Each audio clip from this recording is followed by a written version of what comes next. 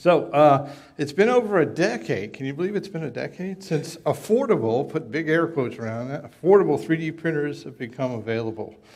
Most people expected a massive revolution in the 3D printing industry. They've predicted by now every house would have a 3D printer. And when you wanted to buy something, you would simply buy it online, and your 3D printer would whir and it print spit out in the next room.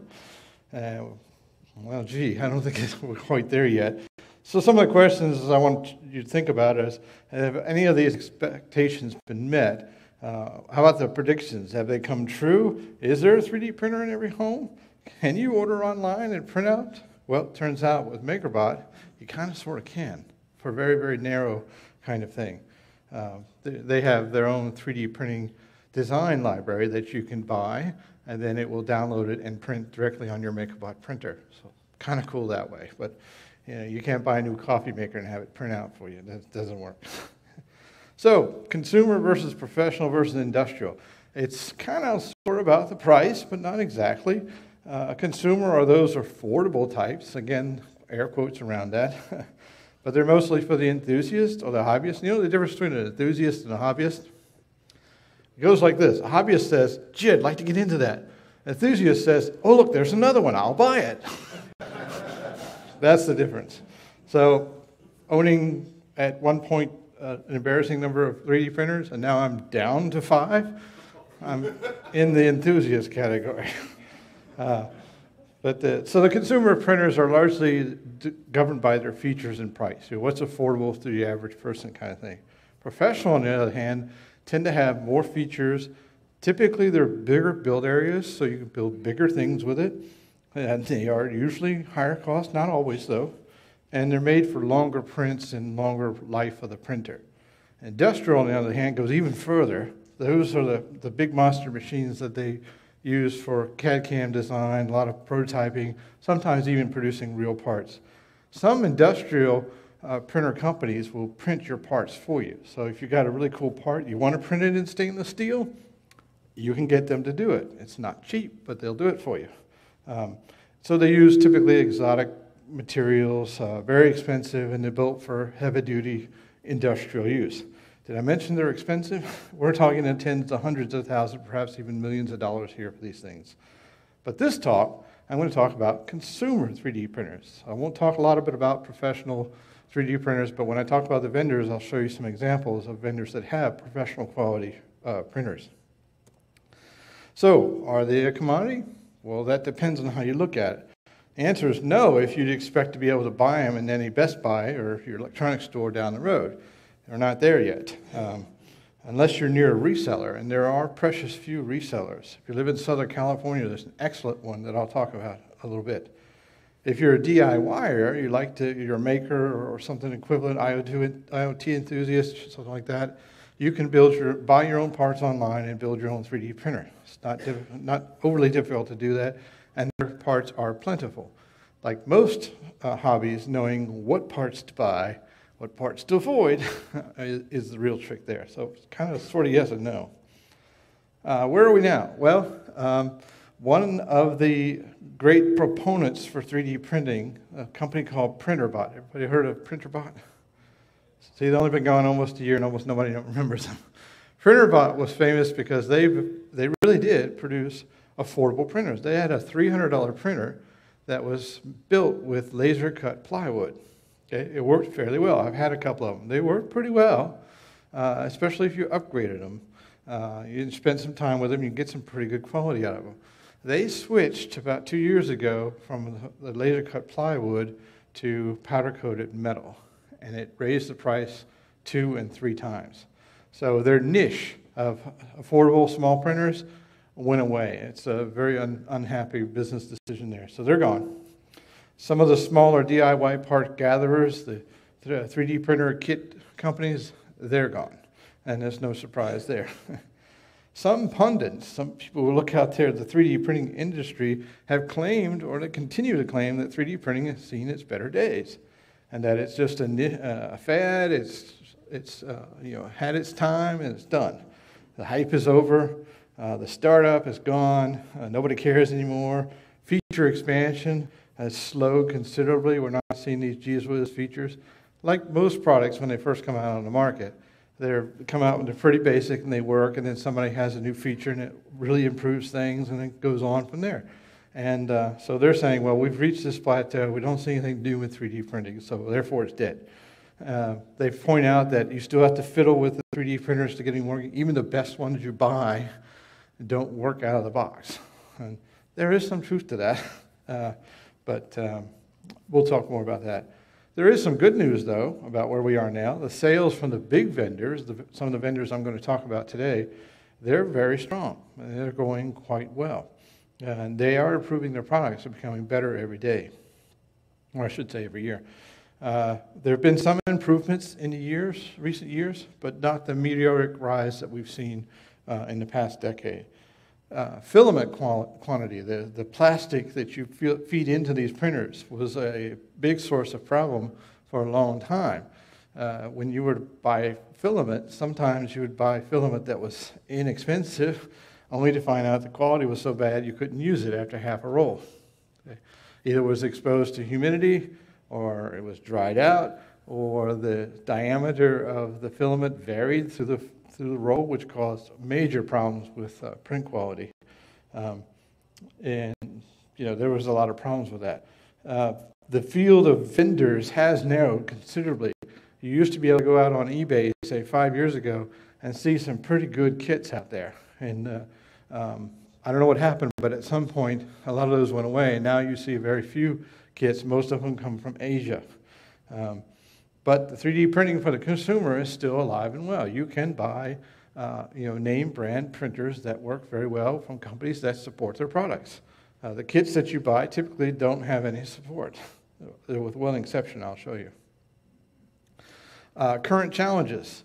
The, the, challenges today for modern printers or the, the, the newest printers is uh, still around the one thing in particular, the build plate material. Now you have a build plate where you where the 3D printer builds the the part, but on top of that you usually have some sort of treatment, something that will allow the filament to stick to for the, for the part to form. Those build plate materials that I'm talking about is where we have a lot of challenge right now. There is no one solution. No one solution that's going to work for every kind of filament or for every printer, or for every vendor's printer, even. So some people have these voodoo-like performance experiments where they say, "Well, you gotta gotta use this, and it's gotta be this particular hairspray from this salon. Don't get that Revlon stuff, and uh, it works this way. You gotta put it on. Make sure you flow from left to right, like you're painting a bicycle. You know, no forward and backwards. Got to be left and right. I'm not kidding. That's how a lot of people read. You look out on the internet, you'll see that. And they'll say, you got to do it this way. Don't let it clump. You let it clump, you got to do it again. But they fail to, to point out that that material, or the hairspray, they're spraying it on top of another piece of material. And They rarely mention what that is. Is it glass? Is it steel? Is it Kapton tape? Is it something else? You know, they don't mention those kind of things. So you'll see all kinds of articles out there about the best new treatment. Don't listen to it. no one treatment is going to work for you. You're going to have to do your own experimentation uh, to figure it out. Some other challenges for 3D printing is uh, ease of use is a, is a big one. A lot of times you buy the printers, and let's say you've, you've read some material or something, and you've got some friend to help you, and you learn about it, or maybe you've worked with them in school or whatever, and then you get one, you get it home, and it's great, everything starts working, and then something happens, and you can't figure out why it's giving you this error. Why isn't it printing? It's just blinking at me. Yeah. So ease of use is a big challenge. Some vendors do better at that than others. Uh, so you have a very much a right out of the box, your mileage may vary experience. I've talked to people, they've pulled them out of the box, they plugged them in, turned it on, they printed a whistle. You know, within 10 minutes, they had a whistle. Everything's great. And I've talked to people that say, well, I had it, I bought it in September, and, uh, well, I got a bunny, but I can't get the whistle to print. You know, it's, it's, it really is. It's like that. Um, you've got to work with it, and I'll talk more about that. Filament availability and stability is getting a lot better. It's not quite there yet, but it's a lot better. Uh, one tip is if you buy a printer, 3D printer, whatever manufacturer you buy it from, if they make their own filament, buy it. So if you're if you're into MakerBots and you find the MakerBots, buy the MakerBot filament. Uh, you know, it's just, it just works better that way. Um, even if they do have quality issues, you can call them up and say, hey, it didn't work, send me a new reel, and they will. Uh, so uh, another area, the quest for the best extruder. Now that's the part that actually heats up and melts the filament and pushes it through what we call the nozzle or the hot end. That extruder, sometimes including both at cold end and hot end, have had uh, a lot of development in recently. Most of the major vendors like Ultimaker, Lulzbot, uh, Prusa, they use pretty much their own designs, but there are a number of uh, uh, uh different nozzles and, and hot ends and, and cold ends that you can use. Uh, E3D makes a very good one for your DIYers. In fact, I use that exclusively on any printer I build. Um, but there are some really strange extruders out there. You have to look at them. Um, here, here's a little pet peeve for mine.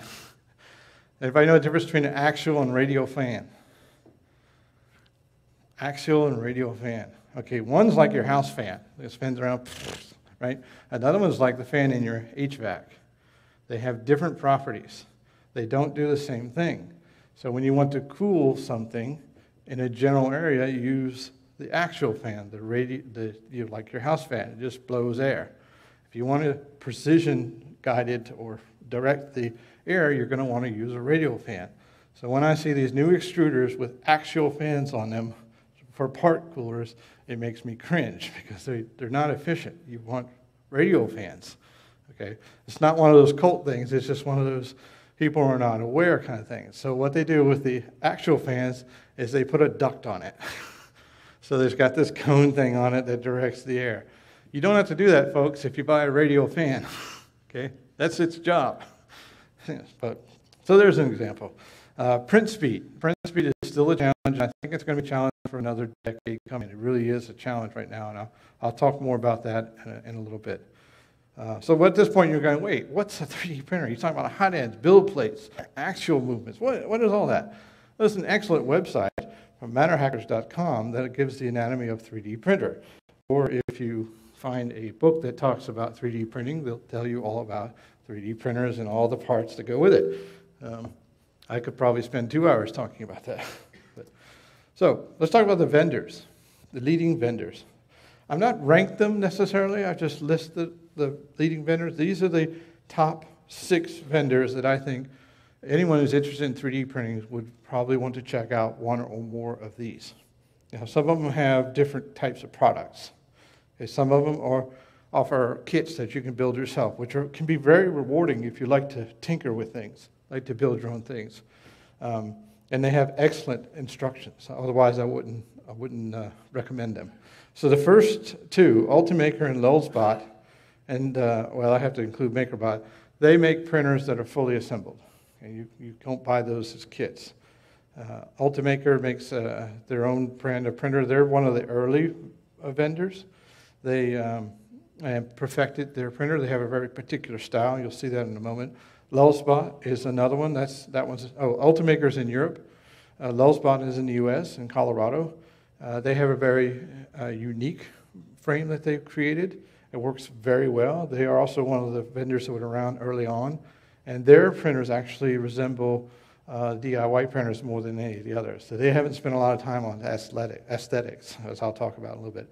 Prusa Research, Prusa, uh, Joseph Prusa, or Josef Prusa, was one of the guys that created one of the original 3D printing designs, uh, 3D printer designs. He created his own company, Prusa Research. You can buy fully assembled printers from there or kits. Uh, that's interesting. MakerBot was another one of the first uh, uh, 3D printers out there, but uh, they got a little bit of bad rap because at one point they were open source and they were bought by Stratasys and they closed sourced everything. so uh, their, their printers are among these printers that I'm, I'm talking about, theirs is the least modifiable. They have gone, I'm talking 180. It used to be you could tinker with them, do anything you want with them. Now, the only thing you can do with them is change the extruder, and you have to buy their extruder or build plate, and you have to buy build, their build plate. There's almost nothing you can change on a MakerBot to improve it. Uh, but that's okay. Uh, I'll talk more about that in a minute. SeeMeCNC is probably the smallest vendor here. They make Delta printers. what's a Delta printer? Uh, uh most 3D printers that you're seeing are Cartesian, meaning they, their axis movements follow the Cartesian planes. A Delta printer has three actual vertical actual movements connected to a center uh, part, let's call it. Uh, and as those arms move, it moves that part or the head around in three dimensional space. They're a wonder to behold. They're, they're fascinating. When you're printing it, you find out, you know, you're looking at, staring at it, watching your part, and you realize, wait a minute, 25 minutes have gone by. I really should answer my boss's email now. You know, that kind of thing. So they're, they're kind of neat. This last vendor is an interesting vendor. It's, I call it a 3D printer superstore. MatterHackers, they don't make their own printers, but they sell everybody else's. And they sell parts for them.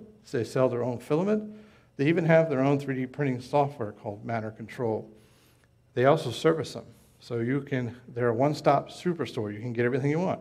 You, you want that Ultimaker, but you want a su- support with it, call MatterHackers. You know, whatever you want. Uh, and they have a, a, wide variety of printers they sell. Let's look at some of these. Ultimaker. These are what the Ultimaker printers look like. Uh, the one on the far right, Ultimaker 2 Plus, uh, it's their second series with three parts in it. That's why they call it 2 Plus. They used to have a Mini, but they, they stopped making it because it didn't sell very well. These uh, printers typically use 3 millimeter filament. Uh, the build plate is glass. They do have a heated option. Um, on the left is their professional series, the Ultimaker S5, not 5S. I guess they didn't want to be associated with Apple too much uh, but it's the S5. Uh, they also make their own software called Cura. And actually, the Cura software is used by a lot of people. It supports more than just the Ultimaker printers. They have an interesting thing with the 3. They may have added to the 2 Plus, I didn't check. Their extruders uh, have cartridge designs. So you can snap them in and snap them out, which means if you want to change the nozzle size, you can have additional hot ends that you just pop in there that helps with different types of filament. They're pretty neat. A lot of people swear by Ultimakers for a very good reason. They're very stable. Uh, these are their, uh, incidentally, on these slides, or this is their height from the website. And it's all true except when I tell you it's not, okay? uh, all right, spot. This is what the Lulzbot printers look like. They look more like, you know, serious, get it done type printers. And they are. They're very robust. They, they are uh, really workhorses. Um, there used in conferences past, someone would bring one here and have it at the conference. They'd have the little mini, the one on the left, and uh, they would work, and they'd print parts for you right before your eyes and all that, and they, they just they just work. Um, interesting thing is they they are upgradable, whereas the Ultimaker are upgradable, but the Ultimakers have a, pretty much ready to go. Those are too, but if you want to use exotic filaments, add a second extruder or something like that, Lulzbot makes parts for those. Now, their big workhorse, called the Taz on the right, it's a little expensive. It's closer to what I would consider a professional grade. So their consumer grade is more the Mini, but you can't go wrong with the Mini. It's a very, very good printer. Uh, and then there's Prusa Research. Now, they make two types of printers right now. Uh, one is I would not consider it a consumer printer. Their, their mainstream printer is the i3 or iteration 3, Prusa i3. If you were to look at some of the kits out there available on eBay and other uh, sites, you'll see i3 appear again and again. That just refers to the design. And the design is one where the X and Y, uh, excuse me, the Z axis is on a vertical plane, which is usually heavy aluminum. So it's the the black square frame there. And uh, so the z axis would ride on that, and the x and y is on its own little carriage uh, on the bottom. That's a very distinctive design. Um, one thing I don't like about this design is you see how the spools are at the top? Okay, unless the Z plane, the, the big thick aluminum, is mounted is very strong, and it is on the Prusa, by the way. From Prusa Research, this is good. From some of the clones, that is going to cause a wobble. It's going to cause X and Y plane shifts. Because as the printer is printing, that big heavy thing way up top is going to start flexing, kind of like this podium does when I move. Okay? Same principle. Um, but again, the Prusa Research don't, don't suffer from that. So I'm adding that out to those that wants to build their own. On the right is their SL1 printer. This is a resin printer that uses ultraviolet light. So it hits the resin and solidifies a, row, a line or a plane at a time. those require curing. So you, after you take the part out, you have to cure it. I wanted to show you that to show you that there's more than just the FFF type printers out there. But the one on the right, uh, I think it starts running around $2,000 without the curing equipment. So it's very, very pricey. Uh, but you can't go wrong with the Prusa Research printer. And the interesting about those, if you bought a Prusa today and next year they come out with a new model, they will sell you an upgrade kit. So you can upgrade their, their, the whole thing. There's everything you need for the new parts. You can do that. To some extent, Lulzbot does that occasionally as well, particularly if they improve the extruder. You can buy the new extruder and it works just fine. Uh, MakerBot. Now, I started with MakerBot way back when the MakerBot were made out of laser cut plywood. So that goes back a ways. Uh, today, they are, um, they are closed source. They are make a particular printer, like I said, that you, you know you can't change anything in them. They're not adjustable to some extent, and uh, you've got to buy their parts. And if they sell a lot to uh, education, so educators are used to MakerBot printers because they show up in the schools a lot. The STEM schools have them. Uh, right now, for consumer grade, you, on the bottom row there, the one on the right, a Mini Plus, Replicator Mini Plus, that's a consumer printer, and the one second from the left is a consumer, that's the Replicator Plus. So they're different in scales. Replicator Plus is more like a professional grade printer in that it's bigger, but I don't really see it as a professional grade. They, they promote it as such, but uh, because you can't do anything with it, I think you're kind of stuck with it. Um, not that it's a bad printer, but uh, the Z18 and the, the Method are their latest printers. The Z18 sits about, oh, I don't know, about this tall. It's a very large format printer. I think I've seen them used around five grand. So they're very, very expensive. Interesting thing about the Z18, they have a heated chamber. So instead of heating the bed, it heats the entire inside of the cabinet. Okay. Uh, very interesting. That's how they. Can, that's how you can print something three foot tall with that thing. Um, the method on the far left is their professional grade printer, and that's a one-stop thing. software, the design, all the things wrapped together. It's really kind of a turnkey thing for like architectural firms or manufacturing and things like that. Uh, spelled expensive. okay. Uh, SeeMeCNC. Here's the Delta version. Here's what they look like. SeeMeCNC have three current Delta printers. The one on the left, the Artemis, is a fully uh, assembled printer that you buy and you ship to you. It's about two foot tall, so it's not really a mini, but it's a fairly well, it's a fairly small build plate. But the build area of a typical Cartesian printer is some sort of rectangle. Okay? Sometimes a cube, but mostly a rectangle in the case of repli- uh, replicators. These are cylinders. so the build area is a cylinder for a Delta printer. The one in the middle is their mainstream uh, Rostock Max. Uh, that's probably the best one that they sell.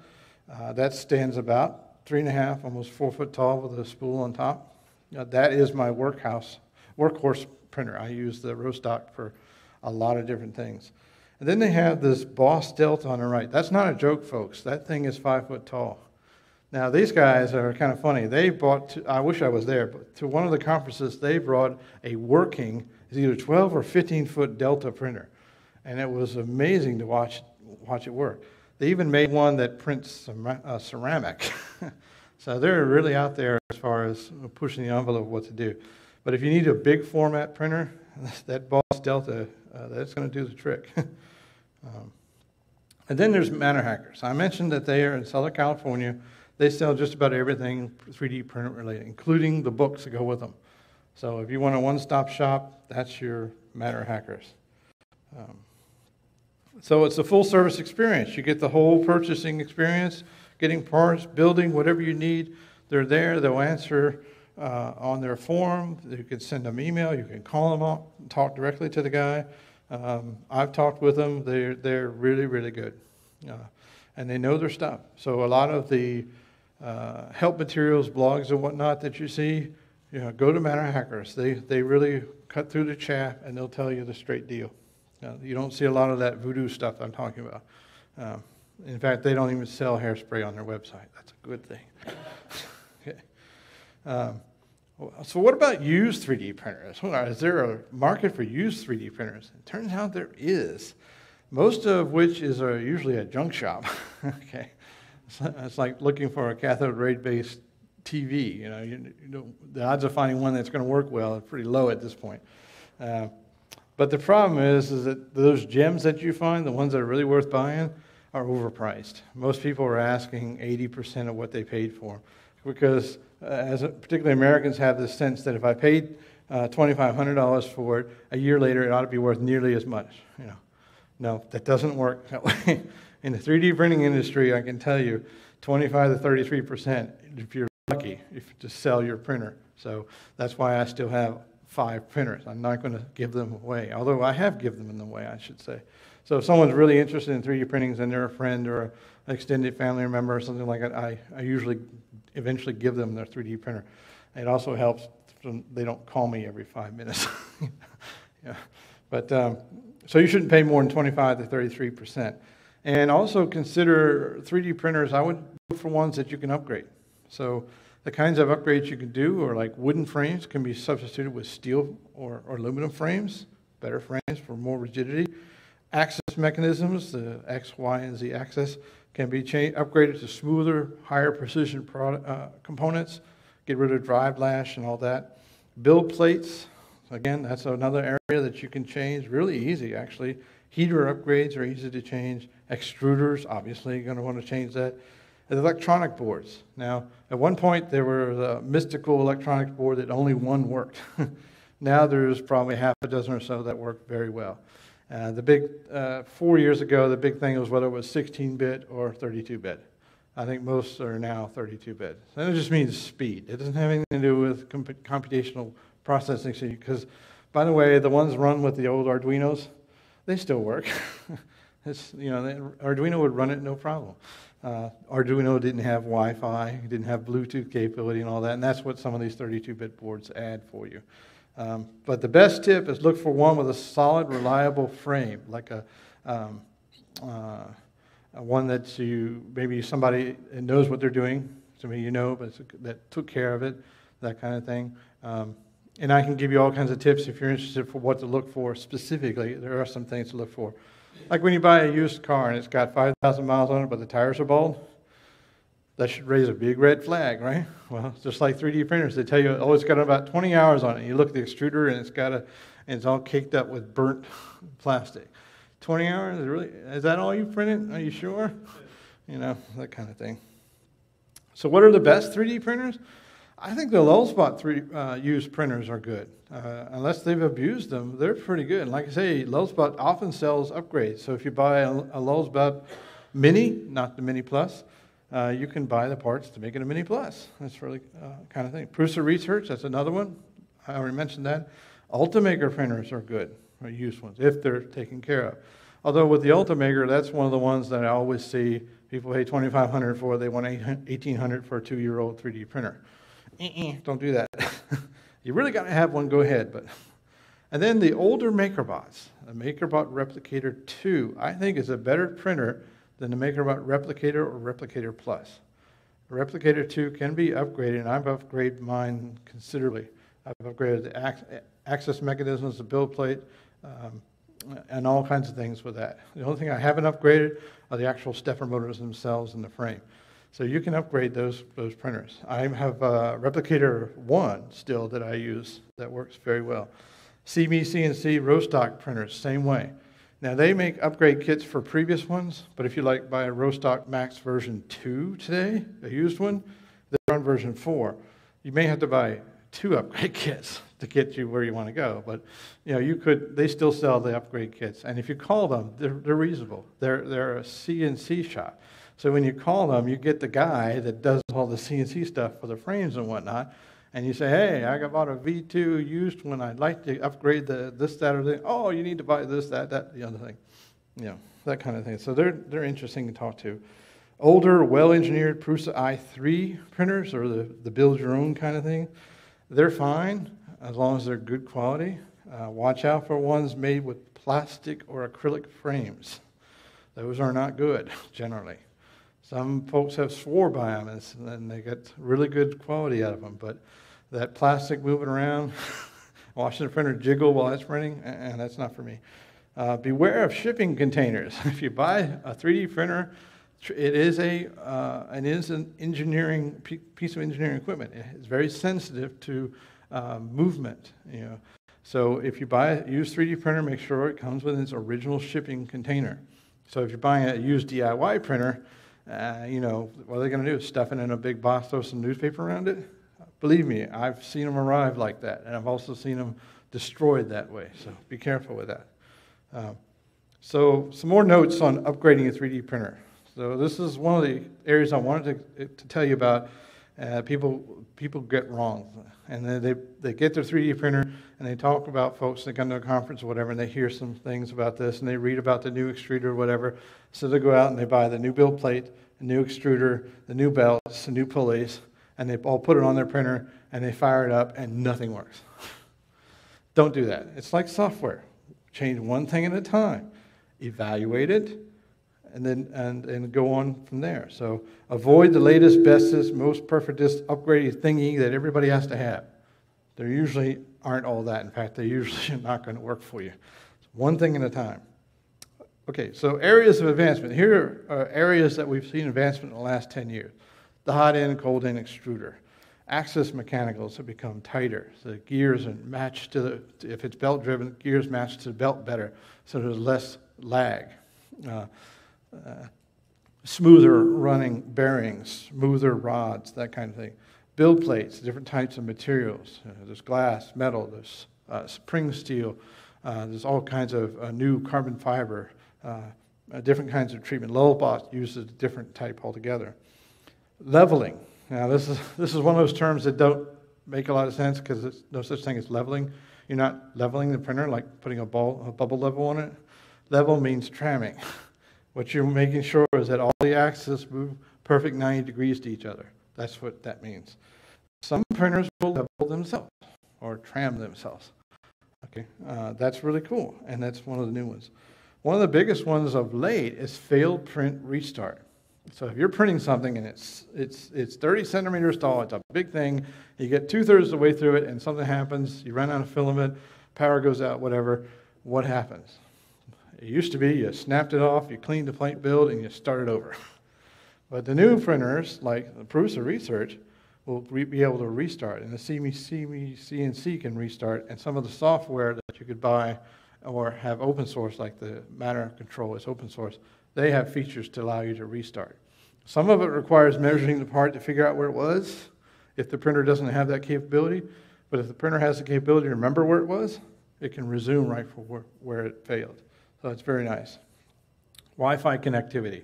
You might not think that's a big deal, but if you're printing something that's going to take six hours and you start it in the morning, it's real easy to forget it's going and turn off your computer. okay? That you should get. You had direct connection. You got to have it. It's sending codes to the printer the whole time. Over Wi-Fi, you can let it run and, and ignore it. Um, uh, some of the printers, like the MakerBot printers, have cameras in them, so you can actually watch it remote. You can go on, go on to the store, go on to work, and check it as it go along, or whatever. Although that's not a good idea to leave a 3D printer alone by itself in your home. Why? Think about it. On average, 230 degrees centigrade heat at the hot end. Uh, you know, what if uh, something were to fall into the build plate or something that's flammable? Would it catch fire? Would the printer itself catch fire? The answer is yes, I've seen it. it's not pretty. So be careful. Treat it like it, what it is. It's a, it's a piece of industrial equipment. Um, uh, better surface treatments. Again, let's ignore the voodoo parts, but uh, toolless part removal. So it used to be when you had your part, it printed wonderful, it was great, and then you had to risk breaking it, getting off the build plate because it stuck so well to the build plate. And some treatments today are like that. But toolless means you can take it off without having to disassemble your printer. Because it used to be you had to disassemble your printer partly to take the part off, and then you put it back together. You had to retram everything before you could print again. Toolless eliminates that problem.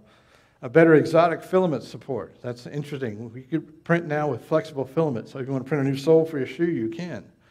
But uh, uh, you have to make sure your extruder can handle that. Not all extruders can handle certain types of material. I have wood filament So I can print things that actually look like wood. And what's really cool is I can change the, the temperature of the, the, nozzle temperature and make it look like wood grain. So the higher it gets, the darker it gets, the cooler it gets, the lighter it gets. It's really, really cool. You print little trinkets, you know, um, little bunnies, little owls, or something like that. They look like they're made out of wood. You can sand them and stain them. It's really cool stuff. Uh, I have some uh, carbon fiber in, uh, embedded uh, filament that I use for parts that are going to be under a lot of stress. Uh, it's very strong part, but it's brittle, so at some point it will actually break, but it's very, very strong. Nylon is another example, and a whole host of exotic materials. Uh, but if you want to print some of those, you've got to make sure that the printer you're buying either can be upgraded to print that material or it can print it out of the box. Prusa is one of the ones that offers an option to print some of those, uh, or an extruder to print some of those exotic filaments. Uh, better quality nozzles.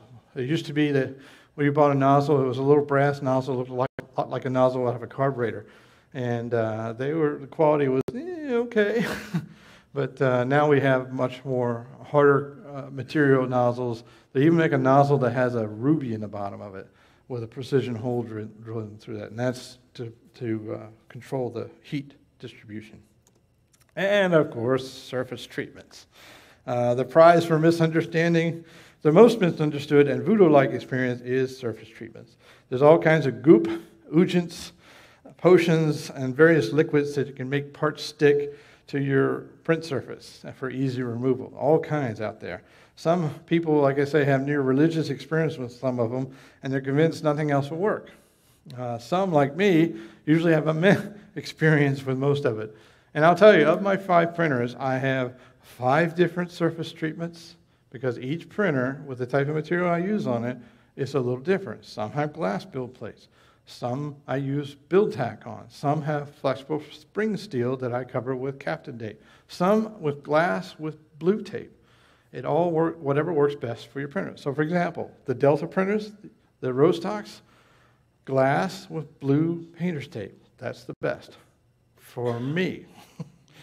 for you, if you have one, it might be different. I've got several MakerBots, most of the older ones. One of them has, I've upgraded to a removable build plate that's glass.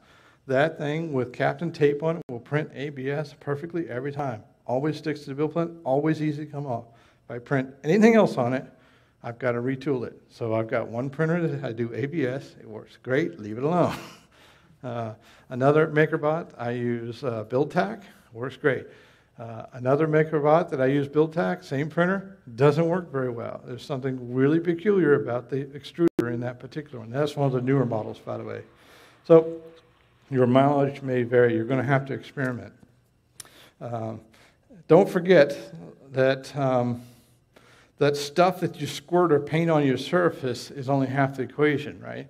So you may read about ABS slurry if you're going to print with ABS. ABS slurry is just taking a little bit of ABS and diluting it in acetone and creating a, something you can paint on, like a, like a varnish kind of thing, and it works really, really well. But ABS slurry won't work for PLA.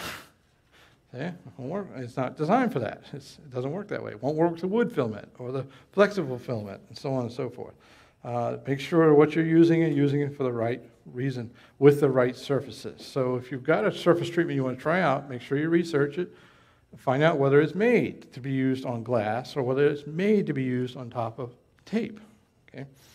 Experiment with them. You know, try it out yourself. If you're starting to think, oh, this is going to take a lot of time, you're starting to get the hint of what I'm going to talk about at the end. um, so, for example, BuildTak with PLA. BuildTak is a flexible material. It's, uh, it's got, it sticks to your build plate, and you can put it on there, and it works best with uh, PLA and uh, my MakerBot and, P- and Prusa clones. But it's horrible with my Delta printers. It just doesn't work that well. Um, and uh, there's lots of reasons for that I won't get into. Uh, but here's the real secret. What you need, I don't care what the solution is, even if it is one of those uh, hairspray kind of things that has to come from a particular salon, if that works for you, the goal is to make sure that the first layer of your print sticks to your build plate and does not come off except when you want it to. Okay? That's the trick. Whatever solution you can get, to figure out that works that way for you, use it. So I might look at it funny and go, oh, yeah, build uh, hairspray. Okay, that's cool. but if it works for you, that's great. Just don't preach it like it's the best solution in the world. Okay, promise me that. uh, uh, usually, they, these things people do uh, will help. They make suggestions. They're very helpful out there, but they usually make it worse. So a lot of people suggest, oh, you see, my print's not sticking to the build plate. Well, just raise the temperature. Uh, well, the build plate or the nozzle? They say yes. it's not helpful. That'll usually make it worse, actually. Uh, okay, uh, I'm not done yet. so, another tip that you can use is to use a raft. What's a raft? A raft is a, a layer that the printer prints uh, down, and usually does it very coarsely. So, it's made, designed to be bigger than your part, and then and it builds up over time, uh, uh several layers, usually thicker layers. And then at the top, it prints a very fine surface. And the idea is that you, your part will stick to that very fine surface. Now, some 3D printing software makes a better raft than other. Believe it or not, the MakerBot software makes the best raft because you can go to the part when it's done and pop it right off. Getting the raft off the build plate is a different story, but it's done its job. Uh, the Matter Control makes a decent one. Cura makes a decent one but some of the other software makes a raft that becomes part of the part. And I've actually had to take it, the part off and go in there with a fine X-Acto uh, uh, saw and saw off the raft. That's mission failure, guys. Don't do that. But if you've spent six hours printing a part and you can't get the raft off, what are you going to do? So, again, experiment with that. Uh, but be careful. Uh, too strong a bond, whatever, whether you're using raft or not, can damage the print surface. Now, if you're using blue tape, blue painter's tape, no what blue paper painter's tape is, right? Everybody's seen that, right? They also have green painter's tape and yellow. Green and yellow don't work. won't stick to glass well enough. It might stick to a wood plate. It might stick to other types of material like a plexiglass plate, but it does not stick to glass very well. Only the blue sticks well to glass. Again, your mileage may vary. You may find green painter's tape that works great for you. Uh, some of the masking tape works great. Uh, blue tape works best for me because blue tape uh, sticks well to the glass and the part sticks to the blue tape.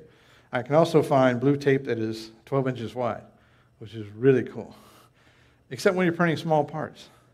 Right? You pull it out and you put it on the build plate and you print this part that's this big around and you pull it off and you tear it. you're going to take the whole thing off and throw it away. So if you use the two inch wide, right? and you print a small part and you tear it, not a problem. You pull that one strip out, you put another one down on top of it. See, trade offs. Think about those kind of things. Um, also, the filament itself.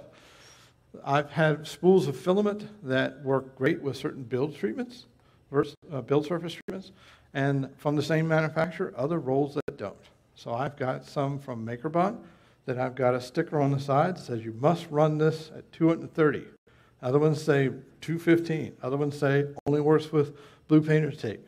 You have to experiment with it. You don't want to throw those out. Those rolls of filament can be like 50, 60 bucks, right?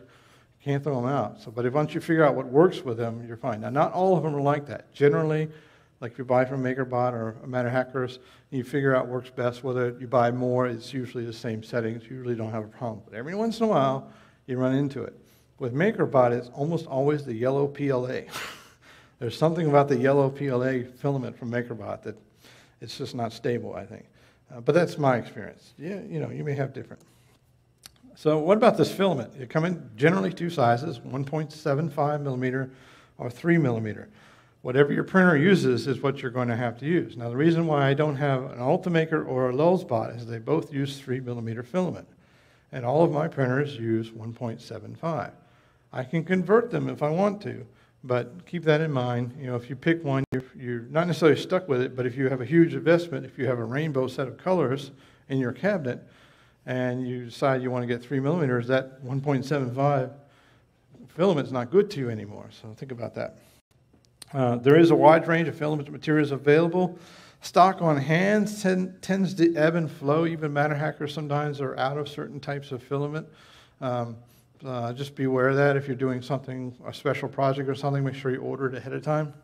Uh, and um, I think in general, we need better filament handling capabilities. So actually loading the filament, uh, knowing when the filament is uh, reel is low, although some printers have that capability. Uh, that, that could be helpful.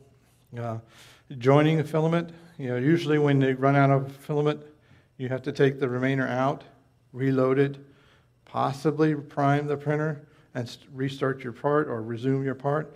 That procedure could be a lot better, I think. I think it really needs to get to the point, and I don't see a reason why it can't, that your printer goes ding, and you put new filament in it, you push a button, it self-loads and goes. The MakerBot printer is one of the reasons they went to the extruder they have, is they, they claim that it does that. I'm here to tell you that it works eh, sometimes, but usually not so good. They need some more work. Uh, aesthetics. Oh, this is one of my pet peeves.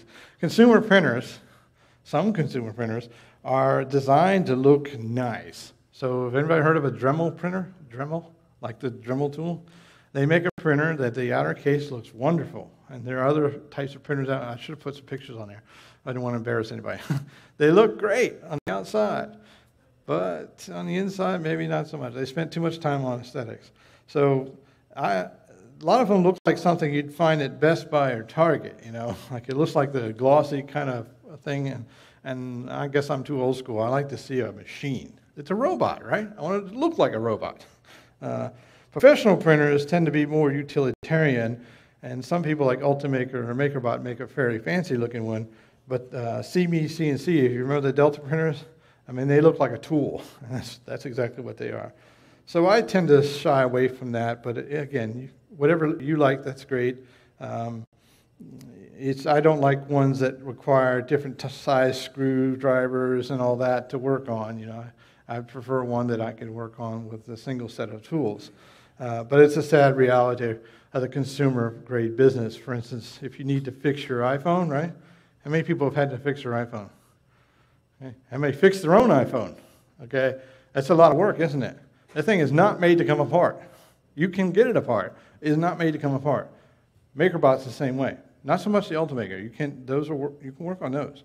MakerBot, there are a lot of screws hidden behind those panels, and when you try to pop them off, it's kind of like taking the panels off in your car, or you break three of the tabs off when you're trying to get it off. That's how the MakerBots are. So if you want a printer that you want to be able to work on, you might reconsider that MakerBot. Uh, so that's a little pet peeve there. All right, so what, what can we do to get the most out of our 3D printer? Well, we have to realize that owning and operating a 3D printer requires time, effort, and patience, with underline patience three times. You need a lot of patience. Don't try to chase the perfect printer with money. You think, well, if I just bought that $3,000 Ultimaker, I wouldn't have this problem with that $1,000 Prusa. False. You may have worse problems because the credit card bill may come next week, right? Uh, so don't try to chase that. The less expensive models sometimes outperform the more expensive printers. Uh, not always, but sometimes they do. I mentioned the print speed. Here's the issue with print speed it's a huge trade off. If you want something to print quick, you have to print it fairly densely, and fairly dense. In other words, the layers have to be fairly thick. The thicker the layers are, the more rough the image looks or the, the part looks. The finer you want it, the lower the, the print layer, the better the part looks. It's still going to have that striated, you're still going to see layers, but it, you won't see it from a certain distance. Okay? So if you look at the picture in front of my book, it looks like a fairly well printed part. And if you get close, you can see some of the striations, but uh, this is printed on a medium level um, thing. But to print on high resolution, could take many times more. It could take you six, seven, eight hours to print something that on a low resolution would only take 45 minutes. So you have to balance that trade off. Uh, and perform regular maintenance. I can't stress that enough. Maintain your printer, adjust it. Whatever needs to be adjusted, whatever needs to be oiled, whatever needs to be cleaned, make sure you do that. These are very finicky uh, systems. They can cause all kinds of problems if you don't do proper maintenance. All right, so what does it take to become proficient? Again, learn and understand the capabilities of the 3D printer you bought. What filament materials was it designed to use? What do you want to use with it? What is the print speed? What is the quality that it, they, they expect? Uh, check the internet forums, see what other people are experiencing with these things. Um, work with your printer often. Use a systematic approach to solving problems. Fix one thing at a time, verify, and move on. Same kind of thing. And did I mention you should maintain your printer? Right, let's look at some examples. Um, Poor first layer adhesion. In other words, the, it won't stick to the build plate. The part lifts, it gets knocked off after a while, or appears to be what. Now, the reason why it gets knocked off is because the part itself usually warps, and the print head comes by and hits it and snaps it off. Uh, usually, you don't see that until well into the print. Uh, so the problem is the first layer is losing adhesion. The part's not sticking to the build plate. What can you do? There's a long list of things to do here. Uh, now, this is not a do this first kind of list. These are the areas that you could explore. Things like cleaning your print surface. Okay, you'd be surprised how many times I've gone in and seen a print surface that is just horribly pitted and whatnot. It's like, uh, do you really expect anything to stick to that? Uh, lowering the first layer height. So, first layer height, most people set to be whatever layer they want, like 0.3. Half that. Make sure you squish that filament down onto the print surface. Um, turn off your fans for the first. If you're using filament that requires cooling, turn them off for the first few layers. Increasing the temperature of the build plate can sometimes help. Increasing the temperature of the nozzle can help you know, at, for the first few layers. Slowing print speed on the first layer. and that one works more often than not. Just half the speed. You know, print it really slow and then resume it. Uh, use a raft, okay? If your print surface will handle a raft well and your software will generate one well, use that. Um, probably at the last, near the bottom, look at those alternative surface treatments. But more importantly, think about your environment. If you've got your 3D printer stuck next to an open window and you're having adhesion problems, close the window. Okay? Or if you've got it set like uh, underneath an HVAC system, right? move it because all those extra air currents, the temperature changes are going to affect that printer. It's very sensitive to that kind of stuff. Room fans, turn them off. Uh, those kind of things. Um, here's another one stringing. This is very, very common. So you get the part, and let's say it's a complex part. It has different, you know, I don't know, nodules or whatever. And then what you get it out and it looks great, except there's strings from various points, and it's got this like it's fuzz on it, and that happens a lot. It's, sometimes they're called threads. And it happens when the nozzle lifts off of one part and moves to the other, the filament is still dripping, if you will, and it causes a string. Okay? How do you fix it? Well, there's a number of things. Lowering the temperature of the nozzle is the exact opposite of the uh, um, surface uh, first layer. Increasing fan speed to cool the, the filament faster. Slowing the print speed helps. Changing the size of your nozzle can help to match the, whatever you're trying to do and calibrating your extruder. A lot of times, stringing is caused because you're over extruding. You're putting too much filament out at one time. Yes, you do have to calibrate your extruder. And the, the formula for calibrating your extruder includes the size of the filament.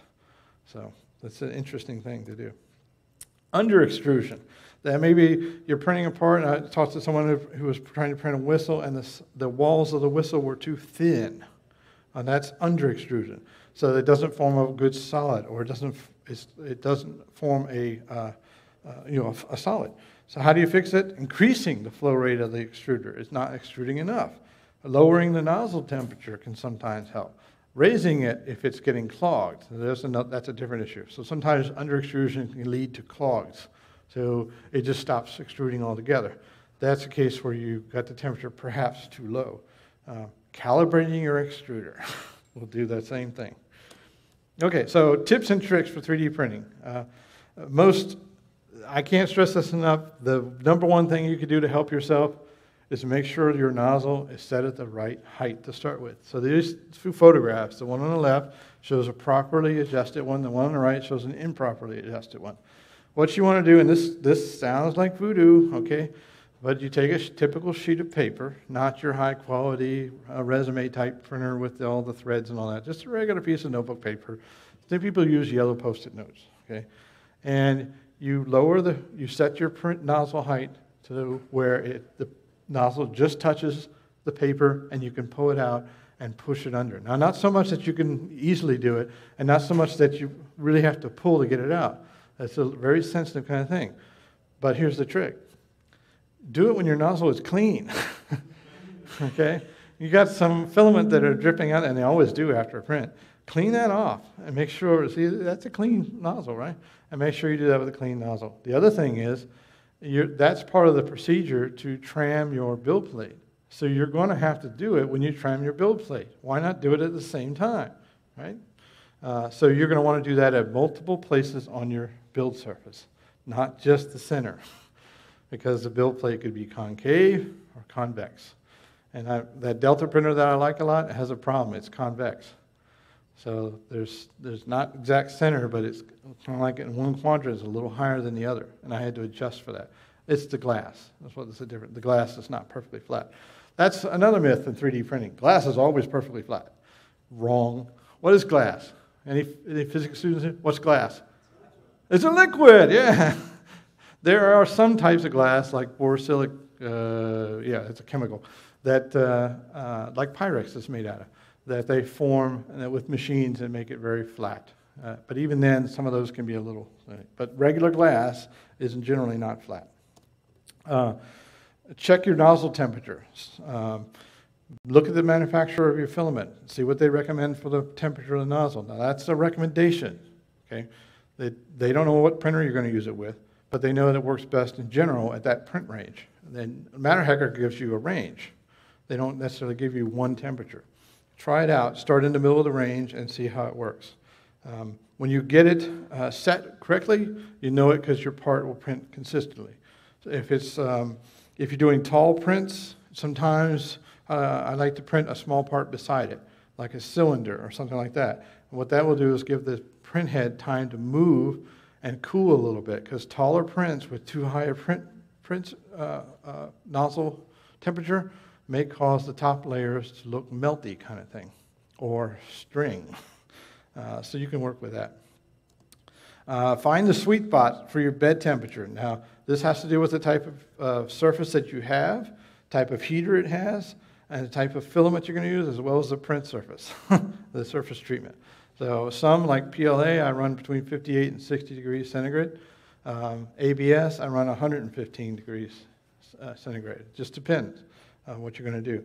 If you get it too high, the bottom of the print will flow out like this, and it'll call what we call elephant feet. And that's okay, because that usually means it's going to stick really good. But if you really wanted to perfect, print a perfectly uh, perfect cube, like a replica of the Borg cube or something, and it has these elephant feet, it doesn't look too good.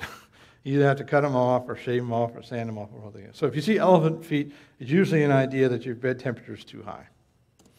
Um, Printer adjustment. Remember that tramming thing I was talking about? Well, here's a graphic that kind of illustrates what's, what you're doing. If you have um, a z-axis in particular that uses two motors, like the Prusa design, they have to be together.